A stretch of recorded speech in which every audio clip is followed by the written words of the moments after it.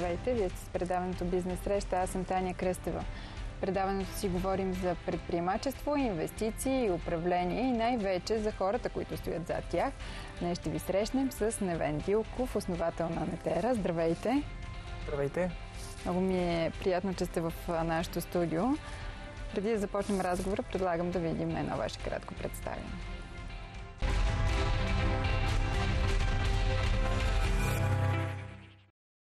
Невен Дилков е основател и собственик на Нетера. С партньори той създава и други бизнес проекти като Нетера TV, Cloudware, Netfleet и София Data Center. Дилков е член на борда на Сдружението за електронни комуникации, както и на управителния съвет на програма за достъп до информация. Учредител е на Българска биткоин асоциация и е член на борда на Европейската телекомуникационна асоциация. Висшето си образование придобива в Китай и Съединените Американски щати.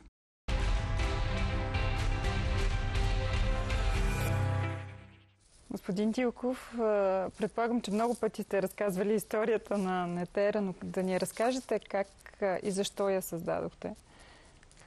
Нетера се роди през 96-та година, когато аз вече бях започнал работа си, бях завършил в Съединените щати висшето си образование и бях започнал работа в Чикаго като софтуер девелопър, като програмист. И а, а, за моя така голямо щастие си бях намерил бързо работа и се чувствах много комфортно, но а, след известно време така започнах да се чувствам а, сякаш нещо не ми достига. И а, в а, така началото на 96-та година аз реших да се върна в България и с, а, с, с ученик от гимназията да стартираме бизнеса, който сега се казва НПА. В доста бурни времена сте се върнали в България. Учил сте в Китай и в Съединените щати, където перспективите за правене на бизнес са доста големи. Защо решихте да се завърнете то точно в този период в България и да започнете бизнес начинания у нас? А, има няколко основни причини да се върна в България тогава.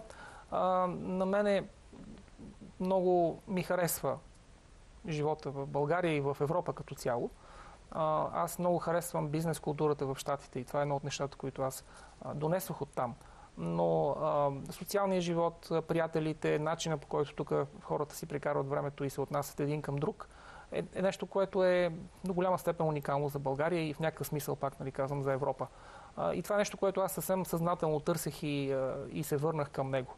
Аз се чувствах и още като се връщах, знаех защо се връщам и съвсем така с ясното съзнание, че отивам да правя бизнес в нещо, в една съвсем нова среда, но пък в среда, която аз харесвам и, и се чувствам комфортно в нея. Започнахте да правите бизнес по една неотъпкана пътека, по една неотъпкана ниша до този момент. От кой се учихте? Ами, да, като неотъпкано, наистина беше съвсем нова средата, в която започвах да работя и за което започнахме да работим. Това беше съвсем скоро след реформите в България и нямаше създадени нито бизнес култура, нито среда, в която да се, да се развиват много от нещата, които са необходими за бизнеса, но а, това беше едно от моите основни предимства. Аз а, а, носех със себе си своето знание и опит от работата в Съединените Американски щати, а това е една много добра школа. И това ми помагаше през цялото време, нали, през първите години особено. След това, разбира се, ние се развихме много а, с, с, собствен опит и с собствени знания вече и умения, но в началото особено аз просто правех това, което знаех, че се прави в Штатите, по същия начин, по който го, го бях видял и по, и по който го бях научил. И това ни помагаше да сме успешни. Работеше на 100% всеки един случай. Как се промени бизнесът а, на компанията, услугите и направленията, в които се развива през последните години, т.е. през тези 20 години? 20 години, те са вече над 23 години. Много, много неща се променят за един срок, за, за такъв един срок. А, а България а, се превърна от едно а, по-малко известно място в, а, в държава, в която е добре да се, е, е нормално и е съвсем добре да се прави бизнес а, а, индустрията, в която ние работим в телекомуникациите също се разви. Има вече много а, чуждестранни оператори, които работят в България и в целия регион, разбира се. Много нови услуги, цели нови сектори в тази индустрия се появиха и някои изчезнаха междувременно и така нататък. В началото ние започнахме като се занимавахме, ние всъщност сме фирмата, която пусна първият така търговски достъпен спътников интернет в България. Това беше и първият интернет, който можеше да се използва масово. Нали? Не, не, това ни, а, ни, ни поставя в, в една ситуация, в която в края на 96-та година, когато ако си спомняте, фалираха банки, сменяха се правителства, имаше демонстрации Именно за това казах, че в доста бурни времена сте се Точно прибрали. тогава а, а, правихме по, по 30% ръст и на приходите, и, и на капацитетите към интернет а, всеки месец, а, което беше изключително вълнуващо за нас. Ние правихме нещо ново, всички се радвахме, работехме от 9 сутрин до 12, 1 часа през нощта и бяхме най-щастливите хора на света. А, та, това нали, продължи известно време. А, много неща за, за, започнаха да се променят. Ние започнахме да се занимаваме с а, спътникови инсталации, т.е. С, с инсталации на наземни станции за спътникова комуникация по цял, по цял свят. Имаме инсталации в места като Шри-Ланка, като Казахстан, Марокко, Йордания, на, на, на различни места. А, и това също беше така един съществен период от нашия бизнес. А, след това създадохме а, първият в, в, България неутрален дейта център, който то, то тогава беше и, и, и телепорт за спътникови комуникации. След това се, се преобразува в София Дейта център, нали, нещо, което и до днес развиваме като бизнес. Създадохме първата в света дистрибутирана платформа за обмен на IP трафик, Netix и много други такива примери, в които сме били първи. Нашата история е поредица от първи неща почти всяка година. А как решавате точно на къде да се насочите? Ами, как а... напивате пулса на, на пазара? Както казваш, един от моите преподаватели по математика в математическата гимназия, ами, умен съм, сетил съм се. А, не е точно така, разбира се. А, ние имаме, а, ние, ние традиционно привличаме в нашия екип умни и работливи хора. А, и, и хора, които искат да, да постигат а, неща, които са амбициозни и знаят и а, имат желание да се развиват и да, а, да, да правят нови услуги, нови бизнеси. А, това а, да се стартира с един нов бизнес а, в нашата а, група от компании е следствие обикновено от, от амбицията на някой от тези хора. Той я хваща, хваща някаква идея. Винаги имаме много идеи. Ние, ние винаги имаме повече идеи, отколкото, отколкото можем да реализираме.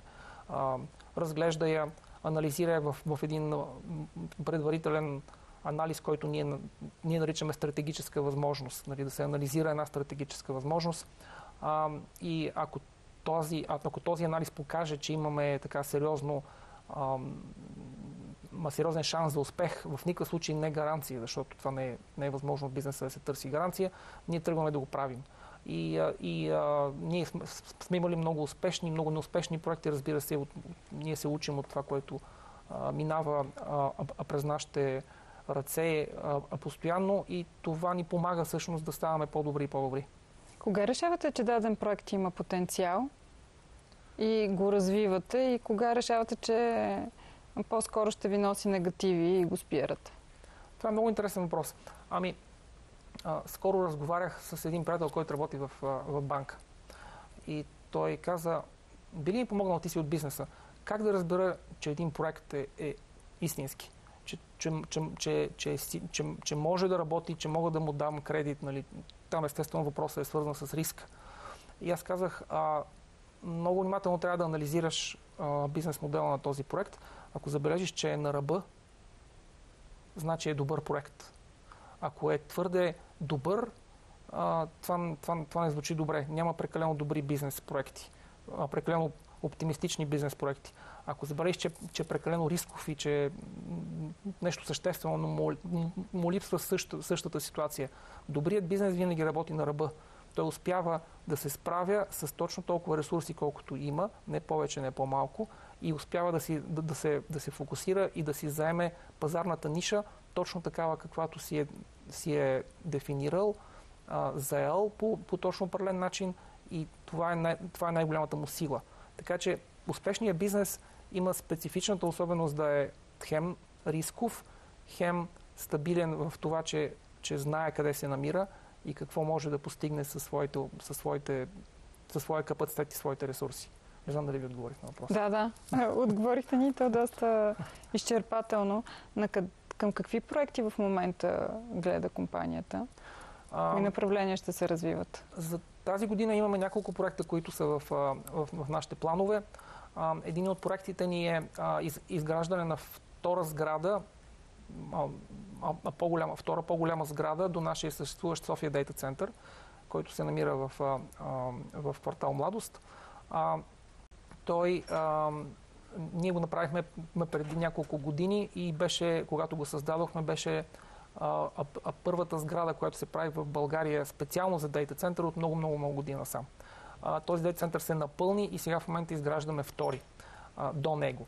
Заедно с това обаче ние а, в края на миналата година стартирахме един нов, много интересен проект а, в близост до София, до, до, до, до, до Столник, до, до, в района на Столник, а, който а, представлява нов тип дейта център. Там а, ние създадохме не просто дейта център, а място, където могат да се изграждат дейта центрове за различни оператори, за различни фирми. И това е много интересно, защото се прави за първи път в нашия регион.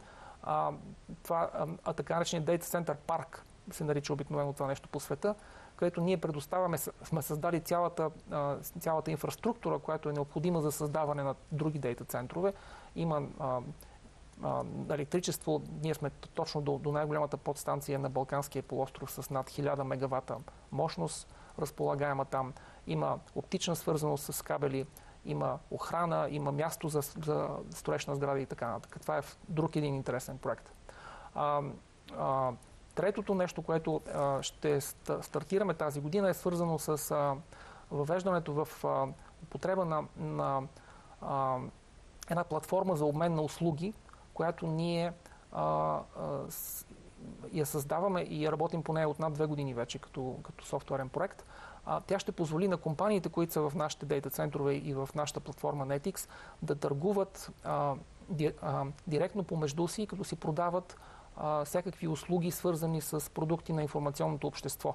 Тоест, всяко нещо, което е свързано с обмен на информация, ще може да се, да се продава и, и, и, и да се купува в тази платформа. Най-интересното нещо на тази платформа обаче не е самия факт, че, че може да се търгуват услуги в нея, защото такива платформи съществуват, а факта, че ние я, базираме тази платформа на, на, на блокчейн технология и на а, а, криптирана комуникация между участниците в, а, в платформата.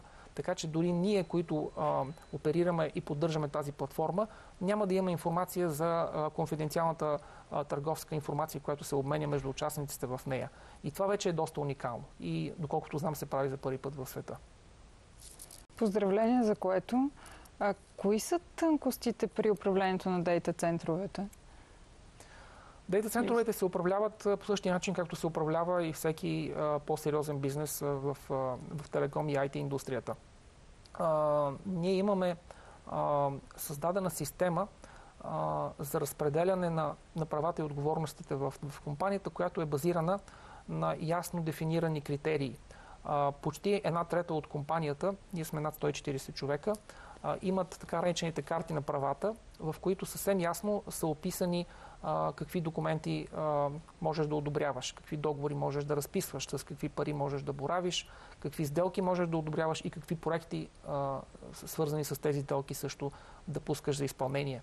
А, за, а, а при нас не е ненормално, съвсем е, се, случва се сравнително често, човек на 6 месеца в компанията да получи право да разписва договори до 100 000 евро. За сравнение, някои от най-големите оператори, които работят в нашия регион, изпълнителните им директори не могат да разпишат нищо, което е над 20 000 евро, ако не се подпишат заедно с още един или двама човеки, един или двама други служители от, от борда на директорите, примерно.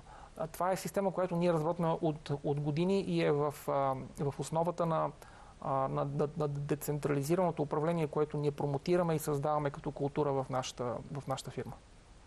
Това ли е тайната същност на доброто управление? Да са ясно разпределени правата и отговорностите, да са ясно дефинирани на всеки един човек в... Тайната на доброто управление е да се умееш да, да привлечеш и, и да амбицираш достатъчно хора, а, които наистина искат да работят и, и наистина искат да правят нещата, които умеят да правят добре и да им дадеш възможността да ги правят по най-добрият начин, а, а, а по които те могат да се справят. в нашата фирма, както казахме, вече са доста хора. голяма част от тях имат повече знания от, от всеки един друг в, в фирмата, включително и от мене, за, за предмета, с който се занимават, за, за даденото бизнес направление, дадения сектор от, от, от, бизнеса, за които те отговарят. И а, а, комплексността на бизнеса, с който ние се, се, се занимаваме, а, е възможно да бъде а, а, е, е, е, е, е възможно един човек да се справи с него или една малка група от хора да се справят с него, само ако те работят самостоятелно и не чакат някой друг или някой в иерархията да им каже какво точно да направят. Това далече вече не е възможно да се случва а, в, в сегашната бизнес култура. Не може един комплексен бизнес да се управлява отгоре надолу. Той се управлява от хората, които изпълняват дейност. Това как се възпитава? Ами, възпитава се чрез, а, а, а, чрез обучение, чрез практика, чрез мен, а, а, менторство а, в, а, в казусите, с, с, с често срещаните казуси в нашата, в нашата практика. С ежедневна работа е краткият отговор, може би. Да, защото за да е вътрешно мотивиран човек, трябва първо да е съпричастен към ценностите на компанията, но и да да може и да поема отговорност и да проявява. Да, да, точно така е. Абсолютно вярно. За, за да можеш, за да, за да поемаш отговорност, ти трябва да си готов да поемаш отговорност. Трябва да искаш да поемаш отговорност. А, ние, а, ценностите в нашата фирмена култура са ясно изписани. Ние а, за всеки новопостъпващ служител в компанията, аз лично и оперативният директор на компанията провеждаме въвеждащо обучение, с което разказваме тези ценности и ги и ги описваме съвсем ясно, за да, за, за да, да се разбират и, и да, се, да се възприемат от хората. А, а в нашата организация имаме създадено отделно звено, което се казва Нетера Академия, което се занимава с обученията от, от, нали, от, от, всички, от всички аспекти, които са необходими за бизнеса, от най-техническите обучения, свързани с работата с нашата техника, до умения за работа с хора, как да даваш обратна връзка, как да ръководиш хора, как да, да работиш в екип, как да управляваш проекти и всякакви такива специфични неща, които ние смятаме, че имаме създадено достатъчно ноу-хау, за да можем да сме успешни, с, докато ги правим. Определяте се като а, силен привърженик на идеята за мрежова неутралност. Може ли да ни поясните малко повече за тази концепция? А, мрежовата неутралност е, а, е нещо, което е в основата на, на, на глобалният интернет. Той така е бил създаден в началото.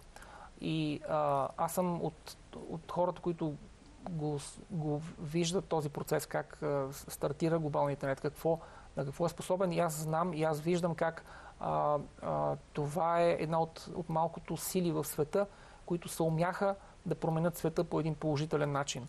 А, и най-големите държави, и, най- и най-затворените правителства в а, света бяха повлияни по един положителен начин от развитието и от всеобщия достъп до интернет и до, достъп до информация, възможностите за обмен на тази информация. А, така че а, мрежовата неутралност а, е, е нещо, е една част от, от този гигантски пъзъл, който се казва интернет и тя е важна, за да, да може да се, да се а, поддържа този свободен достъп до информация и да, да може всеки един от нас и във всеки един в целия свят да разчита, че това ще продължава да бъде така.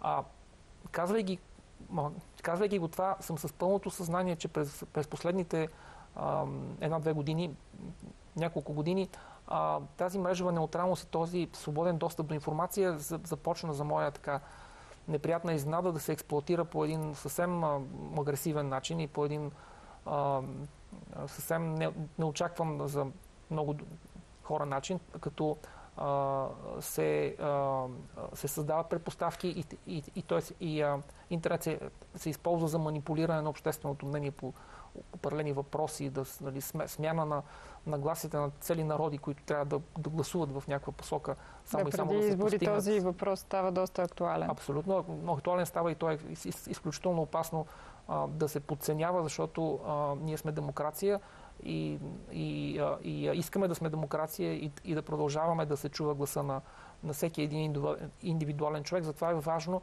а, хората да осъзнават, а, а, че съществува концепции като фалшива информация, като фалшиви новини, като популизъм, като манипулация на общественото мнение. И това нещо се решава чрез, чрез образование и чрез обучение и с научаване на хората за това какви са реалностите на съвременния свят. Участвате в още един проект с други телеком компании за създаването на първия виртуален мобилен оператор в България. На какъв етап е този проект в момента? А, Мобилни альтернативни комуникации АД, а, което е проекта, за който ме питате, е консорциум на пет от най-големите компании регионални телекоми в България, включително Нетера. Той беше, беше създаден преди около година с ясната цел да създаде първият комерциално работещ виртуален мобилен оператор в България. От тогава сме в, в активни преговори с всички мобилни оператори в България, също с международни доставчици на, на, на, на мрежа, на, на мобилна мрежа и на, на, на така наречената core мрежа, което е необходимата инфраструктура, за да може а, един, такъв, един такъв оператор да работи. Завършили сме а, търга международният търг, който проведохме за да си изберем а, а, а, техническата инфраструктура, която ще използваме. Имаме избран на партньор, с който работим вече а, и сме в финална фаза на преговори а, с, а, с някои от мобилните оператори.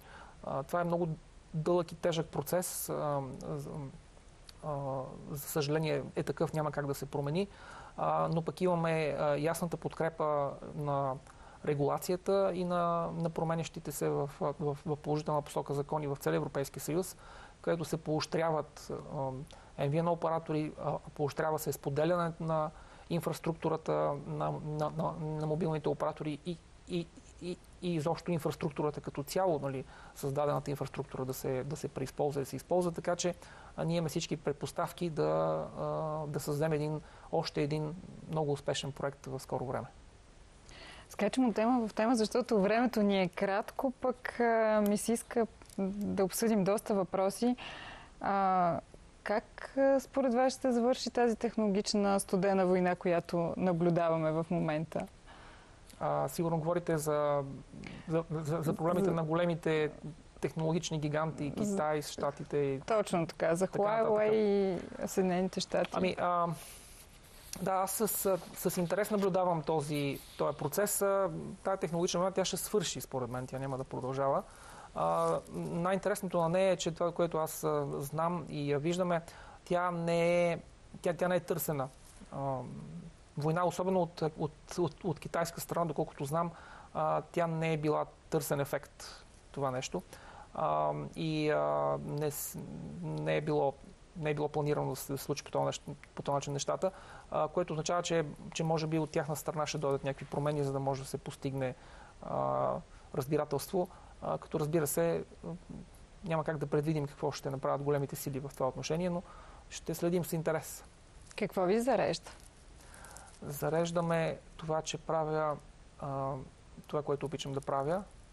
А, зареждаме това, че работя с прекрасни хора зареждаме спорта, зареждаме природата, зареждаме моето семейство. Любима книга имате ли? Аз имам много любими книги а, и в художествената литература и, и, в, и в бизнес литературата. А, последното нещо, което ми хареса, аз, аз принципно съм голям почитател на старата фантастика. Рей Бредбъри, Клифърд Саймък, хора от този тип. А, и а, дълги години така ми се струваше, че е изчезнал това. Жанър и нищо ново не, не, не, не излиза, но скоро прочетох Марсианецът, а, а книгата, по която е написан, е направен филма Марсианецът и се оказа много добре написана книга и това, това ми беше последната любима книга. Благодаря ви много за интересният разговор, господин Дилков. И аз благодаря. Благодаря и на нашите зрители, които бяха с нас. Ще се видим отново на следващата бизнес среща.